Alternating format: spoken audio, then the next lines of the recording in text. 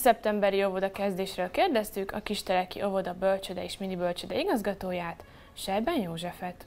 A Kisteleki óvoda bölcsöde és mini bölcsöde igazgatóját, Sejben Józsefet kérdezzük a 21-es, 22-es óvodakezdésről. Köszöntöm Önt, mit tudhatunk, mik várhatóak? Köszöntöm is a nézőket.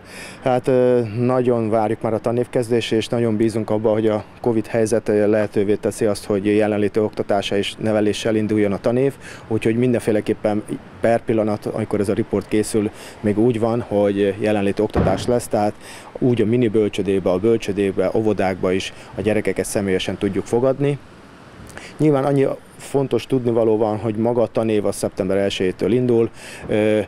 Az igaz, hogy a, ugye a hétszínvirág óvoda, ha az óvodákat nézzük, az a hétszínvirág óvoda az jelenleg ő az ügyeletes, tehát azok már nyitva vannak, ott vannak, ők fogadják a városból a gyerekeket. A szivárvány óvoda még jelenleg zárva van, de 23-ával már összes dolgozónk itt lesz, és akkor a terem, a csoportszobák díszítését, fel, fertőtlenítését, még az utolsó simításokat elvégzik a dajkanének, és akkor utána tudjuk fogadni a gyerekeket. Ha sorba megyünk a mini bölcsödéből, azt kell tudni, hogy ott minden gyermek eljött óvodába, tehát ott teljesen körült úgymond a mini bölcsödénk, és így hét gyereket föl tudtunk venni, ezzel maximális létszámra föl, föl tudtuk tölteni a mini bölcsödét.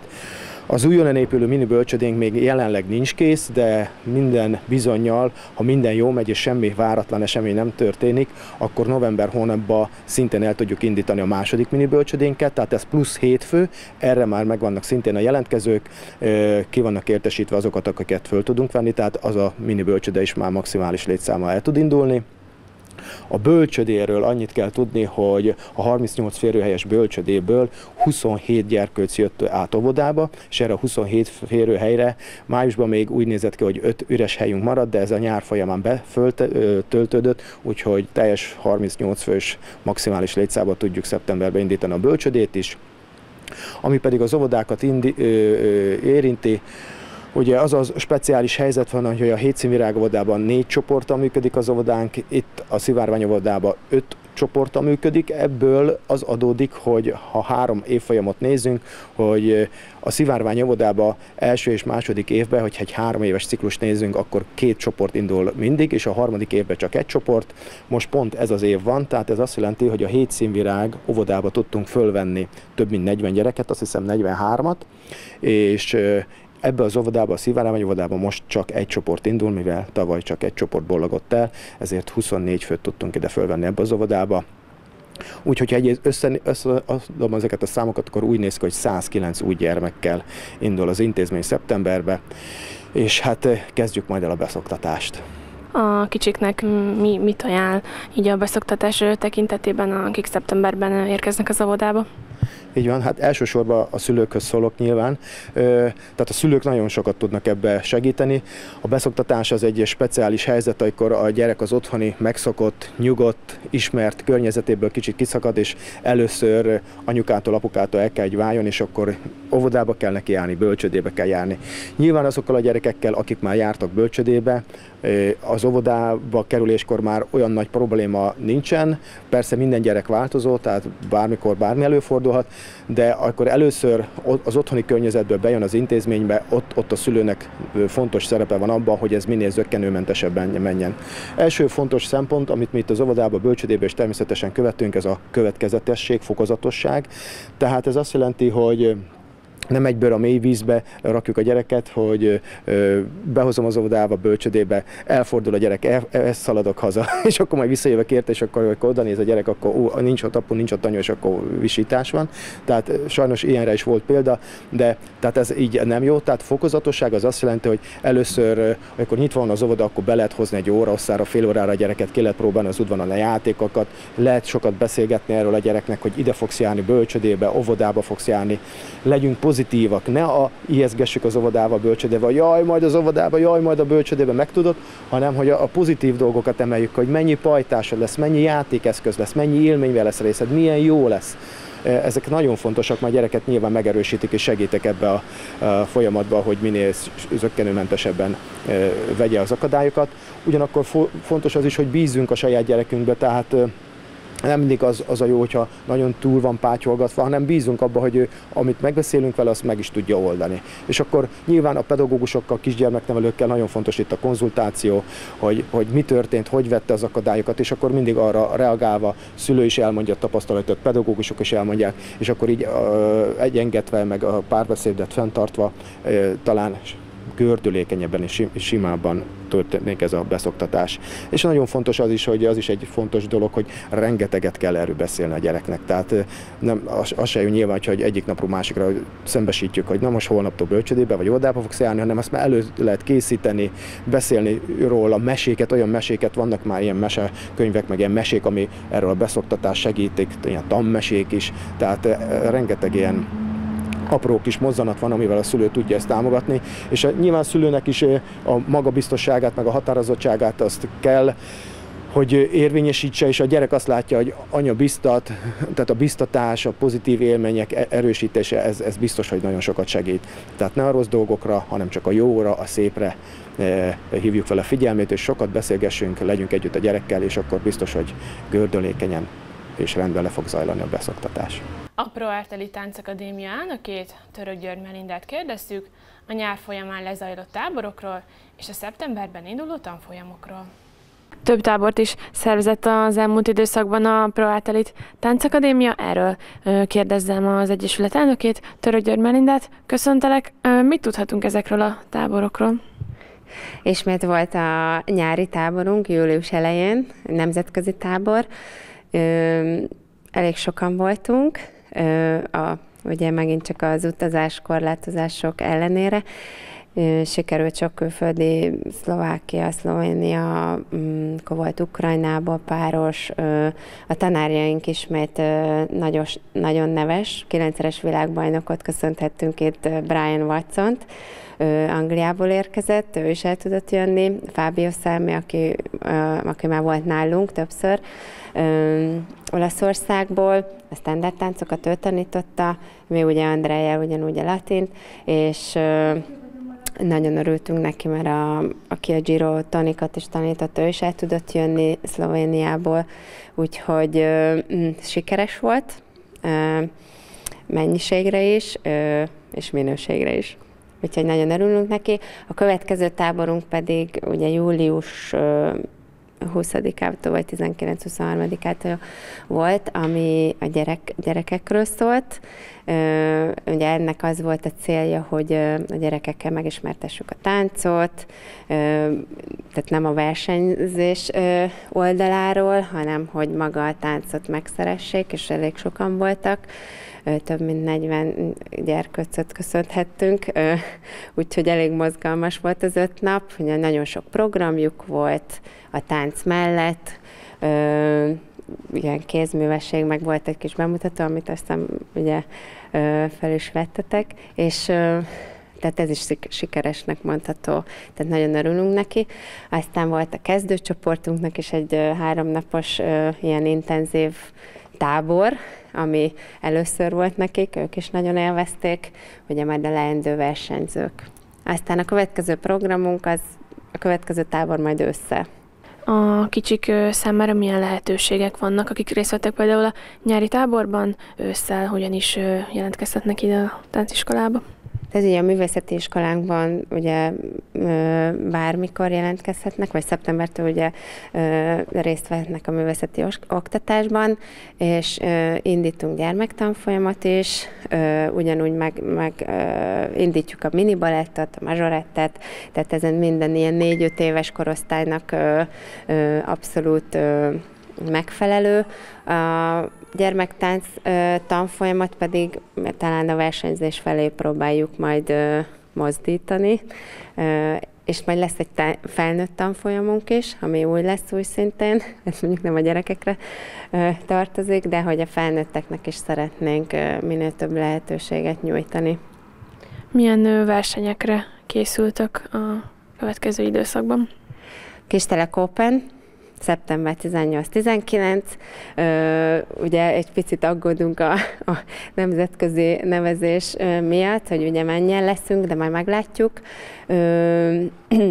Csináljuk a szervezést, Ugye ez latin és standard táncokban ugyanúgy nemzetközi ifjúsági korosztály, junior korosztály, tehát minden felkorosztály lesz a versenyen, mindent megteszünk, hogy sikerülje. Idén is megtartották találkozójukat az egykori diákok az erdőközi iskolában. A szervezőt, Rozsnyai Erzsébetet kérdeztük a részletekről. Idén is megtartották a már megszokottá vált találkozójukat az egykori erdőközi iskolába járó diákok.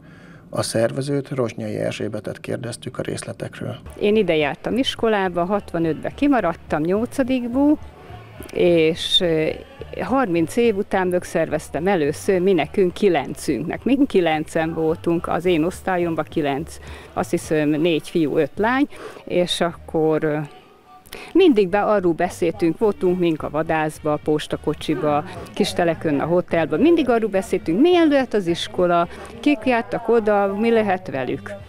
És akkor telt múlt az idő, 50 év, hogy kimaradtam, 2015, na mondom, megszervezem, mindenki gyűjjön ide, aki valaki, valamikor ide járt, és még él és mozog. Az elmúlt évekhez képest kevesebb egykori diák jött el az idei évre, tekintettel a járványügyi körülményekre, de így is késő délutánig tartott az emlékek felidézése. Rozsnyai Erzsébet a rendezvény programjait ismertette. Azt tudom, hogy 11 órakor Miselősz, Imre atyát megkértem, pár éve tart nekünk misét, nagyon, vannak, akik nagyon örülnek nekik, vannak, aki azt mondja, hogy hú, Böbi, de miért fáradsz ezzel, hogy még mise is. Én úgy érzem, atya szívesen jön, és nekünk meg nagyon jó. Az ebéd előtt a már megszokott módon Antal Imre plébános tartott szent misét a jelenlévőknek, melyben az emberek egymáshoz való viszonyát, az egymásra való odafigyelés fontosságát méltatta. Törhet ránk bármilyen ellenség. Lehet itt bármilyen vírus. Az Isten gondoskodik rólunk. Hogyan? Hát nem valami általunk vélt rendkívüli módon, hanem egyszerű gesztusokkal. És az Istennek a gesztusai azok emberi gesztusok. Istentől nem azt kell várnunk, hogy valami csodás módon belenyúl a mi életünkbe. Aki ezt várja, az soha nem fogja megtapasztalni az ő jóságát. Isten egy másik emberen keresztül közelít hozzánk, aki ugyanolyan, mint mi. Vannak hibái, vannak gyengeségei, neki is vannak küzdelmei, de azért minden bizonyal tapasztalták már azt, hogy egy olyan helyzetben, amikor be kell zárkóznunk, amikor nem közelíthetünk a másikhoz, amikor tulajdonképpen megszűnik az életterünk, és csupán a saját kis világunkra, otthonunkra, arra a kis nappalira, kis konyhára, vagy a kis udvarra korlátozódik, és nem mehetek közel a másikhoz, milyen jól esik például egy telefonhívás. Vagy egy SMS üzenet. Hogy hogy vagy. Ugye ez a kérdés, hogy hogy vagy, ez eléggé ilyen elcsépelté vált. Ugye én magamon is tapasztalom, hogy megyek a boltba, szembe találkozok valakivel, és azonnal megkérdezem, jó napot kívánok, hogy tetszik lenni? És jön a válasz, hogy köszönöm jól, de már megyek is tovább. Hogy elgondolkodtam, hogy mi lenne akkor, hogyha ez a valaki azt mondaná, hogy köszönöm a kérdését, de nagyon rosszul vagyok. Tudják ekkor mi lenne? Meg kellene állni. Meg kellene állni. Ha valakit megkérdezek, hogy hogy van, és azt mondja, hogy nagyon rosszul, ott meg kell állni. Az a helyzet, hogy ha azt mondja, hogy nagyon jól, akkor meg nem állunk meg. Közvetlenül az ebéd előtt a szervező Rozsnyai Erzsébet köszöntötte az egybegyűlteket, majd az egykori iskola épületét használó Móra Ferenc vadásztársaság újonnan megválasztott elnöke Csáki Anita emlékezett vissza az épület átalakulására. Végeztem egy kis kutatómunkát, nem tudom, hogy az előző években mik kerültek közzétételre. Megnéztem, hogy 1983. február 23-án lett hivatalosan a vadászház, a Móra Ferenc Vadásztársaság vadászháza. Úgy tudom, hogy ott már akkor előtte több éve nem zajlott ö, oktatás, igen, hanem valamilyen raktár, ö, igen, 79-ben bezárva, így van. Ö, azt gondolom, hogy azóta rengeteg minden változott. Jelenleg 31 fő a tagi létszámunk. Ennyien mondhatom azt, hogy az ő szorgos kezük tartja rendben a vadászház környékét, illetve próbáljuk megőrizni ezt a régi iskola jellegét. Ahogy látják, még a padló is az eredeti régi Ezután Újvári László, a település vezetője köszöntötte az egykori diákokat, és emlékezett vissza a saját iskolás élményeire. Egy nagyszerű, nagyszerű dolog egy ilyet tapasztalni, hogy egy ilyen kis közösség még működik, akik jó néhány évtizeddel ezelőtt, és most elnézést kérek így látva a teremben helyet foglalókat, tehát mindenkire igaz, hogy néhány évtizede jártak általános iskolába, és még én is annak idején, a, és ezt már korábban is itt elmondtam, a hasonló tanyasi iskolába kezdtem a, mondjuk úgy a betűvetés tanulását, és eh, ami a legfontosabb ebben az egészben, tanyasi iskola. Mindig az jut róla eszembe, és nagyon sajnálom, hogy, hogy eh, először is ezekből a, úgy tudom, kilenc ilyen iskola volt Balástyán, ebből egy sincs önkormányzati tulajdonban. Igazából még a még az előttem lévő időkben, ott a rendszerváltás táján, meg még majdnem előtte is ezek a tulajdonváltozások megtörténtek. Az viszont öröm, hogy az erdőközi iskola egy olyan közösség tulajdona, aki bár nagyon közel áll hozzám a hobbim által a vadásztársaság, de őket is nagyon jól ismerem, és megtisztelő az, hogy ez az épület ugyanígy így megmaradt az állagába, hogy annak idején volt, talán még a padló is ugyanaz, csak talán a katedrát vitték innen ki, egy gyönyörű trófák jöttek helyére, miről a vadászátról van szó, de mi is az a, mi is az a, a tanyasi iskola, mit is, mit is jelentett ez annak idején, annak a közösségnek, annak a tanyasoportnak, akihez ezt tartottak, és ugye nagyon jól tudjuk, hogy, hogy hány ilyen volt, meg milyen elnevezései voltak itt Balástyán, annak egy kicsit egy kulturális központja is volt, és az ottani közösségnek azt lehet mondani, hogy kicsit ugye a magja onnan indult. Magyarország jó tanulója és jó sportolója címet kapta Hegedűs Petra. Őt kérdeztük sikereiről és jövőbeli terveiről. A pusztaszeri Hegedűs Petra, immáron már másodjára kapja meg Magyarország jó tanulója és jó sportolója címet. Köszöntelek! Milyen érzés volt már másodjára megkapni ezt az elismerést, és mi alapján is kaptad ezt meg? Hát büszke voltam magamra, hogy sikerült, hát igazából jó érzés volt. Ö, kell, ugye 4,8 átlag felett kell lenni a átlagomnak, meg el kell érni eredményt hozzá, és akkor ugye ez sikerült, és megkaptam. Hogyan is jött a láptalabda a te életedbe, hogy ezzel foglalkozz? Hát negyedikes koromban kezdtem játszani, úgyhogy majdnem, hogy öt éve játszom.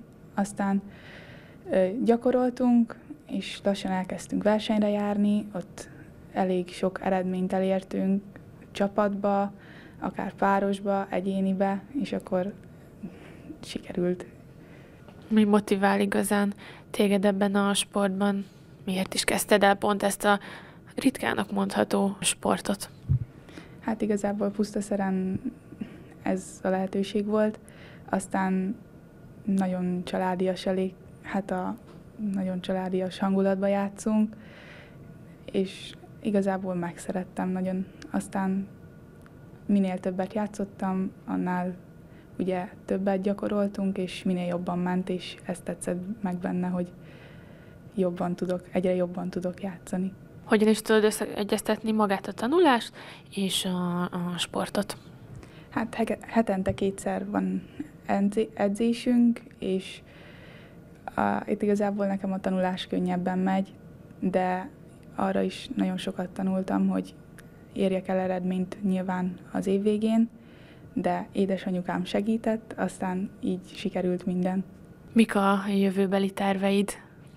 Hát majd egyszer, ha sikerül, gyógyszerész szeretnék lenni, de ez mellett persze szeretném majd folytatni a láptól is ki az, aki segített abban, hogy ezt az elismerést megkapd mind a sport tekintetében, mind pedig a tanulás tekintetében? Hát a tanulás szempontjából a tanáraimnak szeretném megköszönni, meg édesanyukámnak, a sport szempontjából pedig edzőmnek, vágó úrnak, meg hát az ott lévő társaimnak. Thank you.